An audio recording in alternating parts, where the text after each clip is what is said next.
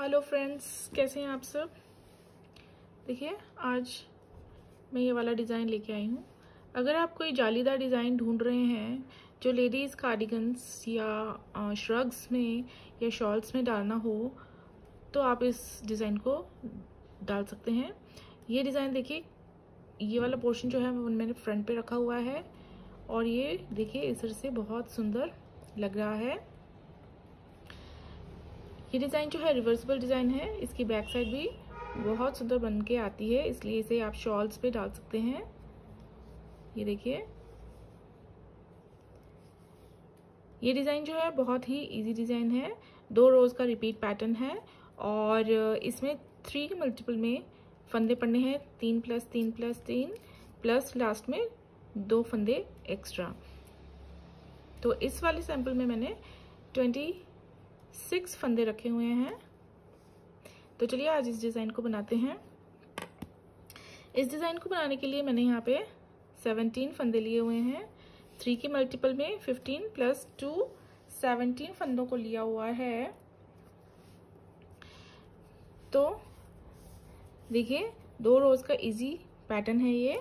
तो इसमें front side से हमने शुरू करना है डिज़ाइन को। और ये देखिए, पहले क्या करना है हमने, पहले हम, पहला फंदा जो है स्लिप कर लेंगे। उसके बाद वाले को हमने सीधा बनाना है इस तरह। और उसके बाद देखिए क्या करना है, दो फंदों के आगे से, इस तरह से बीच से हमने लूप उठाना है। इस तरह से इसे थोड़ा सा खींच लेंगे। और फिर इन दोनों फंदों के बीच में से सिलाई को इस तरह से डालते हुए दो फंदों का एक सीधा फंदा यहाँ पे हमने बना लेना है। इस तरह से।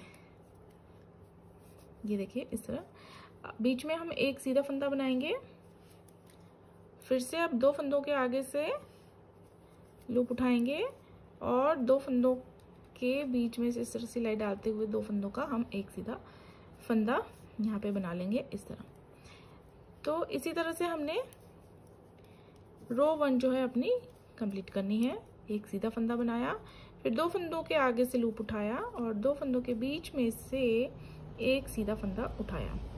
एक फंदा सीधा बनाएँगे, एक फंदा यहाँ से उठाएँगे दो फंदों के आगे से और दो फंदों के बीच में से, इन्हीं दो फंदों के बीच में से हम एक सीधा फंदा उठाएँगे।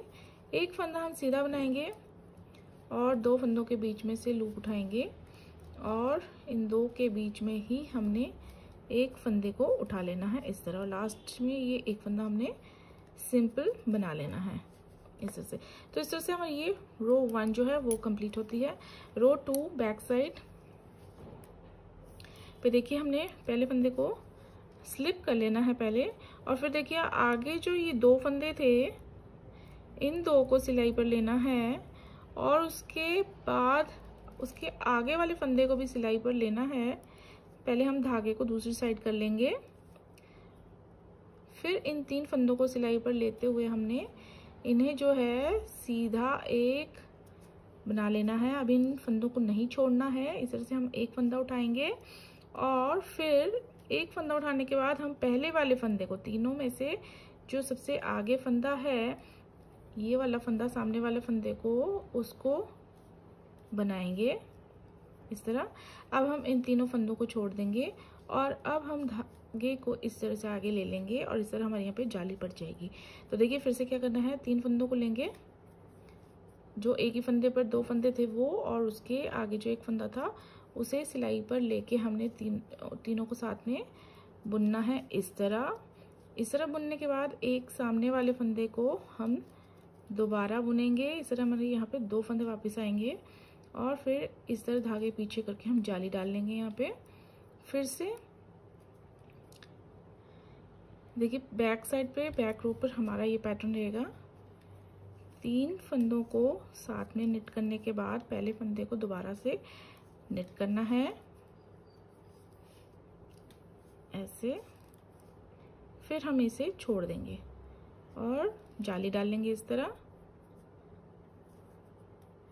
फिर तीन फंदों को इकट्ठा बनाने के बाद बाद पहले फंदे को हम दोबारा से बनाएँगे और फिर इन तीनों फंदों को छोड़ देंगे।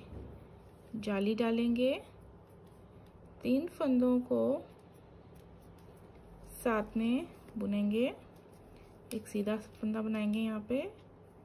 इस तरह फिर सीधे फंदे को हम दोबारा बनाएँगे।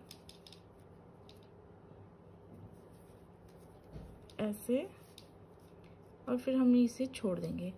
और फिर धागे को ऐसे करके जाली डाल देंगे और यहाँ पे लास्ट फंदे को हम सीधा बना लेंगे, इस तरह। तो यही हमारी दो रोज़ हैं। अब देखिए, अगली फ्रंट रो कैसी पड़नी है। पहले फंदे को स्लिप करने के बाद, धागे को पीछे करने के बाद, देखिए, जो जाली वाला फंदा है, इसे हमने सीधा बनाना है। अब हमारे फंदे जो हैं, इस तरह से आएँगे नेक्स्ट फ्रंट रोज पे। और फिर इन दो फंदों के आगे से हमने लूप उठाना है इस तरह। और फिर दोनों फंदों के बीच में से हमने इस तरह से एक सीधा फंदा उठाना है। फिर आगे जाली वाला फंदा जो है, उसे सीधा बनाना है। फिर दो फंदों के आगे से हमने लूप उठा के दो फंदों को इस तरह से बुनना है। फिर से। तो अब आगे की हमारी फ्रंट रोज इस तरह से बनेंगी सारी।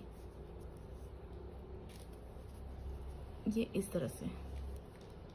जाली वाला फंदा बीच में सीधा बनाएँगे और दो फंदों के आगे से इस तरह से लूप उठाते हुए दोनों फंदों के बीच में से इस तरह से करेंगे। इस तरह से हमारी रो वन जो है वो हमने यहाँ पर रिपीट कर ली है। लास्ट वाला फंदा सीधा बना लेंगे। अब हम रो टू को भी यहाँ पे रिपीट कर लेते हैं। पहले वाले फंदे को हम स्लिप कर लेंगे, धागे को पीछे कर लेंगे। तीन फंदे जो है वो हम सिलाई पे लेके सीधा बनाएँगे, ऐसे। और फिर फ्रंट वाले को दोबारा बनाएँगे, ऐसे। धागे को ऐसे करके जाली डालेंगे तीन फंदों को इकट्ठा बनाएँगे इस तरह। पहले वाले फंदे को फिर से बुनेंगे। ऐसे। इस तरह से जाली डाल लेंगे। और ये। इस तरह।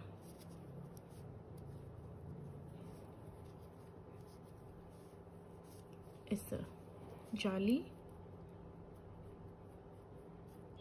तीन फंदे। साथ में फ्रंट वाले को फिर से बुनेंगे और ये इस तरह जाली डालेंगे। एक बार फिर से देखिए। तीन फंदों को सिलाई पर लेके सीधा बनाएँगे। फिर बिना छोड़े हम पहले वाले फंदों को फिर से बनाएँगे। और अब यहाँ पे इस तरह से जाली पड़ेगी और लास्ट वाले को हम सीधा बना लेंगे। तो यहाँ पे जो है हमने अपने पैटर्न को, दो सिलाई के पैटर्न को रिपीट भी कर लिया है। तो देखिए, यहाँ पे भी ये बहुत सुंदर तरीके से बनना शुरू हो गया है। अगर आपको बैक साइड का पोर्शन ज़्यादा अच्छा लगता है तो आप जो है फ्रंट वाली एक सीधी सीधी रो दे के आप इसी पैटर्न को बैक साइड से शुरू कर सकते हैं। और इस वाले डिज़ाइन को आप फ्रंट में डाल सकते हैं।